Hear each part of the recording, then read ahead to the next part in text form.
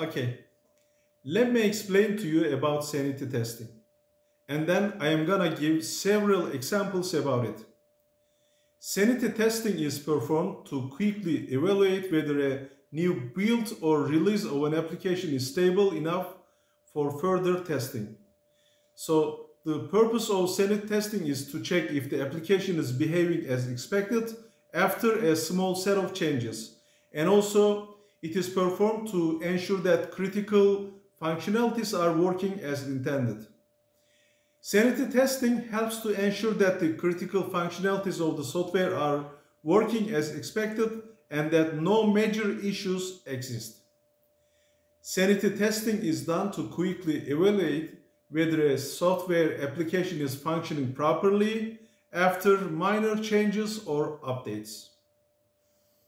Sanity testing is a, actually a subset of regression testing and it is often performed after a build or release of an application to, to determine whether further testing is required.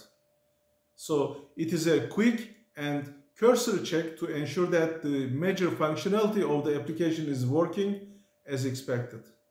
The goal of sanity testing is not to perform an exhaustive test of the system, but rather to quickly identify any major defects or issues that could prevent further testing. Sanity testing can be automated or performed manually, and it typically involves running a small set of tests that cover the most critical functionalities of the application. If the sanity test passes, further testing can be performed to validate the functionality of the system in more detail. But if the sanity test fails, it indicates that there are major issues with the build and further testing should be postponed until the issues are resolved or sorted out. Now, I want to give some examples about sanity testing. For example, after fixing a minor bug, a sanity test is performed to check whether the bug has been resolved and if any new issues have been introduced. Or let me give another example about sanity testing. After a software upgrade, a sanity test is conducted to ensure that the basic functionalities of the application are working fine. Another example is about after adding new features to an application, a sanity test is performed to make sure that the new features do not affect the existing, existing features negatively.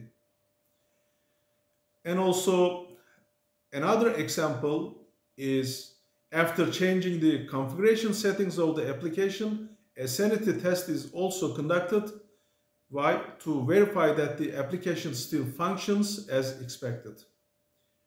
After a major release of an application, also a sanity test can be performed to verify that the critical functionalities of the application are still working as expected. Another example is after integrating two or more software applications, a sanity test is implemented to ensure that the integration did not cause any major issues.